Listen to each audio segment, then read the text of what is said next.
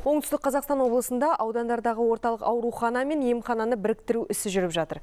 Алайда Мақтарал ауданы Жетісай қаласының бірқатар тұрғындары бұл жаңашылдыққа наразы. Олардың айтуынша мұндай оңтайландыру медициналық қызмет сапасына кері әсер етеді. Ал денсаулық сақтау саласының басшылары болса, медицина мекемелерін біріктіру арқылы науқастарды емдеу ісін мейлінше жақсартамыз, маман тапшылығы проблемасын шешеміз дейді. Мәселенің ақ қарасын осы өңірдегі тілшіміз зерделеп көрді. Жетісай қаласында елу мыңға тарта халық тұрады. Енді сырқаттана қалса жұртқа бір ғана емдеу мекемесіне баруға тура келеді. Бұрынғыдай бөлек емхана өз алдына аурухана жоқ. Екеуі бірікті. Бір мекеме болып қайта жасақталды. Алайда тұрғындардың біразы бұл істі құп көрмей отыр. Өйткені дәрігерге қаралу тіптен қиындап кететін болды дейді олар.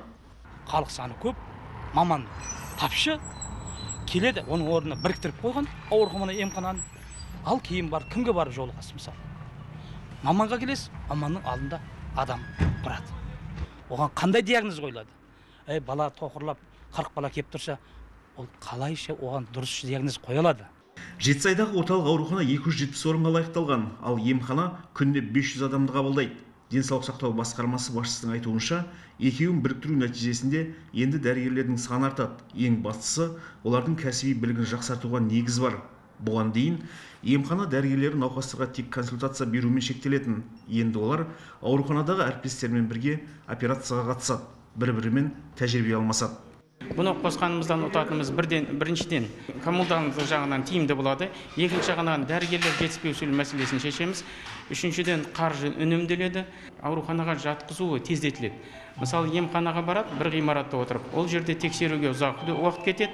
Одан кейін аурухана қабылдамаймын дейді. Аурулардың арыз шағымдарын көбейтеді. Облыс бойынша бүгінде 14 аудан қала бар. Оның үшеуінде яғни арыс түркістан және кентауда ғана аурухана мен емхана өз алдына дербес мекеме болып қалды. Оның себебі бұл үш аймақ қала мәртебесіне ие. Ал аудандық деңгейдегі емдеу орындары облыс әкімінің шешімімен түгелдей біріктірілді. Ғани қалмаханов нұрлан нұрбек қазақстан ұлттық телеарнасы оңтүстік қазақстан облысы.